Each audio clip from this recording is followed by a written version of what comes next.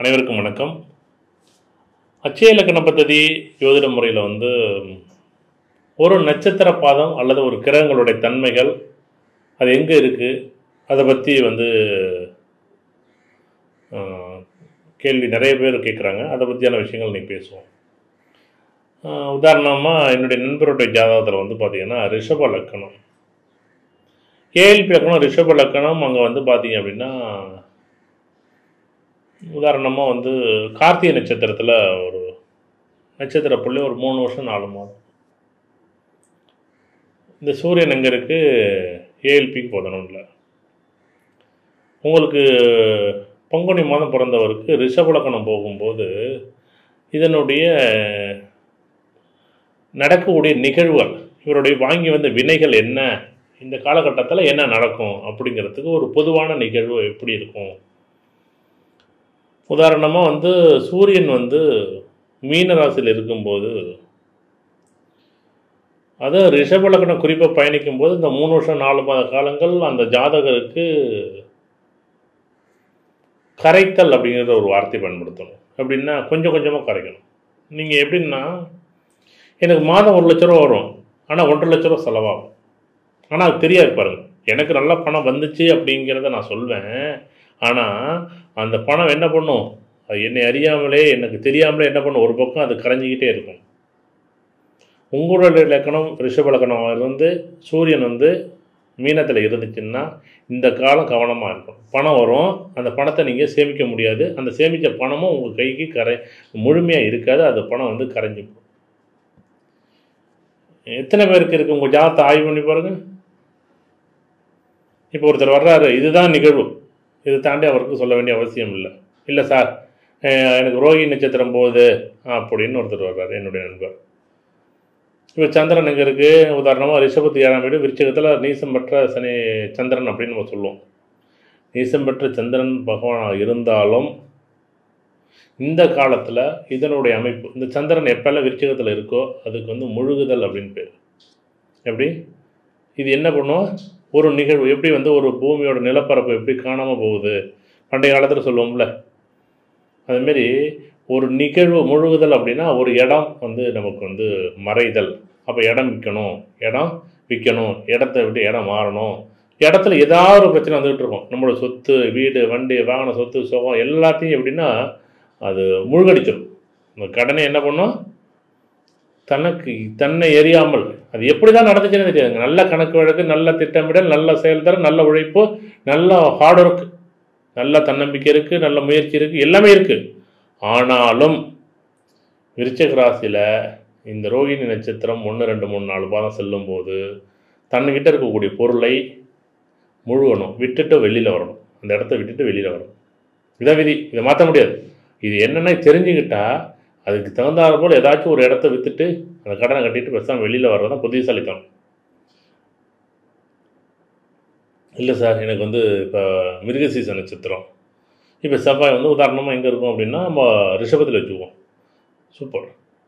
அப்போ நீங்கள் விற்ற நிலத்தை நீங்கள் வாங்க முடியும். எப்படி வாங்க முடியும்?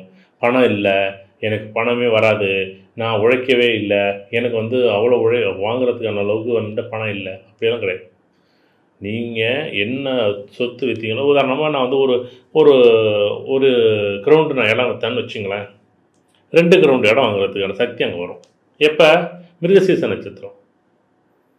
அப்போ ஒரு நட்சத்திர புள்ளியை வச்சுக்கிட்டு நம்ம இவ்வளோ சொல்ல முடியும். இதுதான் இந்த வினைப்பெண். இந்த பத்து வருட காலம் இதுதான் நடக்கும். இதுதான் நடக்க நடக்கவே நடக்காது.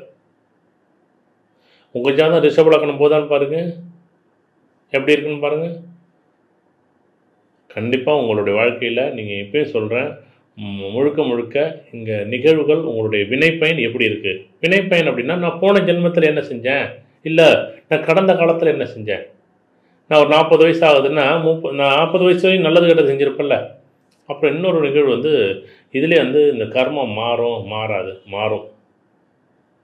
மாறக்கூடிய கர்மான்னு ஒன்று இருக்குது மாறாத கர்மான்னு ஒன்று இருக்குது இதில் ரெண்டு விஷயம் இருக்குது எதெல்லாம் மாறும் எதெல்லாம் மாறாதுங்கிறதுக்கு அச்சயலக்கண பദ്ധதி உயர்நிலை படித்தவர்களுக்கு தெரியும். மாறக்கூடிய நிகழ்வு எது? மாற மாறாத நிகழ்வு எது அப்படின்னு தெரியும். அப்போ சில நிகழ்வுகள் உங்களுடைய நீங்கள் மாற்றவே முடியாது. அனுபவிச்சே தான் தெரியும் சில நிகழ்வு மாற்றிக்கலாம் இப்போ எதுக்கு தான தர்மங்கள் எதுக்கு? புண்ணியங்கள் எதற்கு கோவில் எதற்கு வழிபாடு எதற்கு பரிகாரங்கள் எதற்கு ஏதோ நம்பிக்கையில் தானே செய்கிறோம் ஒரு நாளைக்கு அட்லீஸ்ட் நாலு பேருக்கு சாப்பாடு வாங்கி போடுறோம். நீங்கள் நல்லா இருக்கணும். சாப்பாடு இல்லைனாலும் ஒரு நாலு பேர் சாப்பாடு கொடுக்கணும். அது ஒரு புண்ணியமாக போகுது. இல்லை நாலு பேர் கல்வி அறிவு இல்லை கல்வி சொல்லிக் கொடுக்குறோம். கல்வி வந்து நாலு பேருக்கு கல்வி படிக்கிறதுக்கு உதவி செய்கிறோம் அப்போ இந்த மாதிரி நிகழ்வு செய்யும்போது அந்த நிகழ்வுகள் அந்த ஏதோ ஒரு புண்ணியமாக உங்கள் வாழ்க்கையில் வந்து ஒரு மாறும்போது இந்த கர்மாக்கள் குறையுமான குறையும். அதுக்காக நம்ம வந்து பெரிய லெவலில் சம்பாரித்து இப்போ வந்து ஒருத்தர் இப்போ இன்றைக்கி ஒரு இப்போ ஒரு நண்பர் கேட்டார். ஒருத்தர் வந்து திருடிட்டு வந்து நாலு பேர் சாப்பாடு போட்டால் சரியாயிடுமான்னு கேட்டால் அது கிடையாது, சரியாகாது. முதல்ல சரியாது நம்மளால் உழைத்து எவ்வளோ சம்பாதித்த பணத்தை எதோ அளவுக்கு கொடுத்து நாலு பேருக்கு உதவி செஞ்சோம்னா நாலு பேருக்கு நல்ல வழி காமிச்சோம்னா அந்த கர்மம் குறையுமே தவிர இல்லைன்னா அந்த கர்மா கூடிக்கிட்டே தான் இருக்கும். அந்த கர்மங்கிற வார்த்தையை சுமைங்கிற பகுதி தாங்க. சுமைன்னா என்ன அப்படின்னா நம்ம எவ்வளோ தூரம் தூக்குறோம் எவ்வளோ வெயிட்டை தூக்குறோம். பேச்சு அது உதாரணத்துக்கு வந்து பணமாக இருக்கலாம் பேராக இருக்கலாம் புகழாக இருக்கலாம் அதிகாரமாக இருக்கலாம் ஆளுமையாக இருக்கலாம். இது எல்லாமே சுமையுங்க எனக்கு அது இந்த கர்மங்கிற வார்த்தையை விட வினை பயன் என்னுடைய வினைக்கு என்னுடைய செயலுக்கு நான் என்ன செயல் செஞ்சேன் இன்றைக்கி என்ன அனுபவிக்க போகிறேன் அவ்வளோதான் அந்த எல்லாமே அச்சயலக்கண பத்தியில் மா அதிகமாக வந்து பார்த்தீங்கன்னா வினைப்பயன் அப்படிங்கிற வார்த்தையை பயன்படுத்துவாங்க. எதெல்லாம் மாற்ற முடியும் எதெல்லாம் மாற்ற முடியாது எதெல்லாம் நீங்களாக செஞ்சது எதெல்லாம் நீங்கள் ஆப்போசிட்டாக செய்ய செய்கிறது அப்படின்னு நிறைய விஷயங்களை வந்து நம்ம பதிவு பண்ணியிருக்கோம். கீழகண பദ്ധதி அடி உயர்நிலை படித்தவர்களுக்கு அதை பற்றி தெரியும். விதின்னா என்ன மதினா என்ன? விதின்னா எதெல்லாம் செய்ய முடியும் எதெல்லாம் அப்படியே அனுபவிக்கணும் எதெல்லாம் மதி நம்மளால் எதெல்லாம் மாற்றிக்க முடியும்? இப்போ இதை தான் நம்ம சொல்கிறோம் வினைப்பயன் சொல்கிறோம் அதை. கர்மான்னு சொல்கிறோம் செயல்னு சொல்கிறோம் நிகழ்வுன்னு சொல்கிறோம் நிகழ்வு அப்படின்னாலும் ஒரு செ- ஒவ்வொரு செயலுக்கும் ஒரு நிகழ்வு கர்மம் உண்டுங்க. வினைப்பயன் உண்டுங்க. நல்லது செஞ்சால் நல்ல வினைப்பெண் உண்டு கெட்டது செஞ்சால் கெட்ட வினைப்பயன் உண்டு. இதுதானே விஷயம். அப்போ கடந்த மேஷலக்கணம் போகும்போது ஒழுங்காக ஒரு நண்பரை அழகாக பார்த்துருந்தா? உதாரணத்துக்கு மேஷலக்கணம் போகும்போது நேற்று நான் ஒரு வீடியோவில் பதிவு பண்ணியிருக்க விஷயம் என்ன அப்படின்னா உதாரணமாக வந்து மேஷலக்கணம் ஏஎல்பி போகும்போது இந்த கர்மம் எப்படி செயல்படும் அப்படிங்கிறதுக்கு இது ஒரு மிகப்பெரிய ஒரு அமைப்புங்க. மேஷ லக்கணம் ஏழாம் வீட்டில் குரு பகவான். எப்படி? ஏழாம் வீட்டில் குரு பகவான். மேஷ லக்கணம் வரும்போது யார்? மேஷ லக்கணத்துக்கு ஒம்பது பன்னெண்டு கூடிய குரு பகவான் வந்து துலாம் வீட்டில் குரு பகவான் இருக்கார். சூப்பராக இருக்கார். அப்போ என்ன பண்ணுறாரு இந்த மேஷ லக்கணக்காரர் நல்லா வந்து வேலை வாங்கிக்கிட்டே இருப்பார். எப்படி? நல்லா வேலை வாங்கிட்டே இருப்பார். அடுத்த லக்கணம் வரும் பாருங்க. அதே ஆள் அப்படியே ரிஷப வரும்போது அதே குரு பகவான் அட்டமாதிபதியாக போய் எப்படி? பாக்கியாதிபதியாக இருந்த குரு பகவான் வேஷத்துக்கு அப்படியே அட்டமாதிபதியாக போய் அப்படியே ஆறாம் வீட்டில் உட்காந்து கடன் ஒம்பு வழக்கு நோயை கொடுப்பானா? கொடுப்பார். நண்பர் எதிரியாக மாறுறாரு எதிரியாக மாறுறான்னு சொல்கிறோம்ல அப்பாவே எதிரியாக மாறுவாருங்க. எப்படி? நீங்கள் மேஷலக்கணத்துக்கு எப்போ மேஷலக்கணத்து குரு ஏழில் இருக்கவங்களுக்கு பாருங்கள் மேஷலக்கணம் போது அப்பா அப்படியே சந்தோஷம் கொண்டாடுவாங்க. அப்படியே ரிஷபலக்கணம் வந்தோடனே என்ன பண்ணுவார்? அவர் அட்டமதிபதியாக போனோடனே அதே ஆறுக்கு வந்தோடனே அது பார்த்தீங்கன்னா ஒன்பதாம் சனி சுக்கிரன். கரெக்டாக பார்த்தீங்கன்னா ரிஷபத்து ஒன்பதாம் வீடு யார் அப்படின்னு பார்த்தீங்கன்னா சு- சனி பகவான். கரெக்டாக வந்து ஆறில் இருக்குவார் குரு. வச்சு செய்வார் பத்து வருஷத்து அப்பாவாலே. நீ அதெல்லாம் போகக்கூடாது நீ அதெல்லாம் செய்யக்கூடாது நீ அதெல்லாம் செய்யக்கூடாது அதெல்லாம் நீங்கள் வாங்கக்கூடாது அப்படின்னு சொல்லி இவர் ஒரு யதார்த்தமும் நல்ல விஷயங்கள் அனுபவங்களை சொல்லும்போது பையன் நான் படிச்சுட்டேன் எனக்கு தெரியும் நான் சம்பாதிக்கிறேன் அப்படின்னு சொல்லிட்டு ஏதாச்சும் ஒரு விஷயத்தை பண்ணி கண்டிப்பாக அந்த பத்து வருஷ காலங்கள் அப்பாவுடைய நிகழ்வுகளை தட்டி கழித்து அவருடைய கர்மாவை சு- சுமப்பார். பத்து வருஷ காலம் சுமப்பார். அப்போ குழந்தை பிறக்கும் பாருங்க. அப்போ தான் பெரிய பிரச்சனையாக ஆரம்பிக்கும். ஏன்னா நிறைய நிகழ்வுகள் வந்து பார்க்குறோம் அப்படின்னா மேஷத்துக்கும் ரிஷபத்துக்கும் நம்ம கணக்கெடுத்து பத்து பத்து வருஷம். யாருக்கு மேஷ இலக்கணம் ஏழில் குரு இருக்குன்னு பாருங்கள் அப்பா சொல்கிறத வேத மந்திரம் அப்பா சொல்கிறத மந்திரம் அப்பா சொல்கிறதான் உபதேசம் அப்பா சொல்கிறதான் அறிவுரை. நீங்கள் அந்த மேஷ இலக்கணம் அப்படி நீங்கள் எடுத்துக்கிட்டீங்கன்னா ஜெயிச்சிடலாம். ரிஷப இலக்கணம் ஒன்றும் பண்ணாது. இல்லை இல்லை எங்கள் அப்பா ஒன்றுமே தெரியாது. நீங்கள் நினச்சிக்கிட்டீங்கன்னா எப்படி இருக்கும்? அந்த ரிஷப போகக்கூடிய பத்து வருஷ காலம் உங்கள் வாழ்க்கையில் நீங்கள் உங்களுக்கு அறிவுரை சொல்கிறவங்கள எப்படி தான் சொல்லுவாங்க? நீங்கள் வந்து இரும்பு பிஸ்னஸ் எல்லாம் பண்ண வேண்டாம் இரும்பு பிஸ்னஸ் பண்ணுங்கள் சூப்பராக இருக்கும்னு சொல்லிவிட்டு அங்கே பார்த்தீங்கன்னா இவர் என்ன பண்ணால் இரும்பு பிஸ்னஸ் பண்ண போகிற இடத்துல பார்த்தீங்கன்னா பக்கத்துலேயே பெரிய ஒரு பைபாஸ் ரோடு வந்துடும் இல்லை ஏதாவது ஒரு ஒரு கால்வாய் வந்துடும் அந்த இது கம்பெனிக்கு போகவே முடியாது. இல்லை கம்பெனி என்ன பண்ணும் இழுத்து மூடுற மாதிரி இருக்கும். அப்போ என்ன நடக்கும்? க ஆரம்பித்த இரும்பு கம்பெனி இரும்பு கடை அங்கே தான் இருக்கும். ஆனால் இவர் என்ன பண்ணுவோம் இடையில ஒரு பா வாய்க்காலை தோண்டி போட்டுருவாங்க. ஆறு மாதம் ஒரு வருஷம் ரெண்டு வருஷம் பிஸ்னஸே இல்லாமல் போயிடும். இது கண் கூட பார்த்தது அதேமாரி நான் அடிக்கடி சொல்கிற விஷயம் முன்னாடி ரொம்ப நாளைக்கு முன்னாடி இந்த வீடியோ பதிவு பண்ணியிருக்கேன். உதாரணமாக வந்து ஏஎல்பி இலக்கணம் இது அச்சய இலக்கண பദ്ധதி படித்த நண்பர்களுக்கு இது புரியும். ஏன்னா லக்கணம் எப்படி வளருதுங்கிறதுக்கு ஒரு ஒரு கிரகத்தை மட்டும் நான் வச்சுட்டு பலன் சொல்கிறேன் பாருங்கள் லக்கணம் வந்து மீன லக்கணம் ஏழாம் அதிபதி யார் அப்படின்னு பார்த்தீங்கன்னா புதன். அவர் என்ன பண்ணுறாரு மகரத்தில் புதன் இருக்கார். இது மட்டும் தான் கணக்கு. இதை மட்டும் ஞாபகம் வச்சுங்க. இதே ஒரு கட்டமாக போட்டுங்க நீங்கள் எப்படி? ஏஎல்பி லக்கணம் மீனம் மகரத்தில் புதன். இதை நீங்கள் ஜோதிட படிப்பவர்கள் இல்லை ஆய்வு பண்ணக்கூடிய மாணவர்கள் இதை எடுத்து போட்டு பாருங்கள் இப்போ என்ன பண்ணது? இவருக்கு வந்து இந்த நன் இப்போ வந்து ஏ பின்னு வச்சுக்குவோம். ஏங்கிறது வந்து யார் அப்படின்னா மீனம் பிங்கிறது கன்னி. இப்போ அப்படி வச்சுங்க ஒரு பத்து பத்து வருஷம். இதை நான் ரொம்ப சுருக்கமாக சொல்லிடுறேன். இதை வந்து நான் வகுப்பில் அடிக்கடி இந்த நிகழ்வை பற்றி பேசுவேன். இது உண்மையாக நடந்த சம்பவம். உண்மையாக நடந்த ஒரு ஜாதகருடைய நிகழ்வு.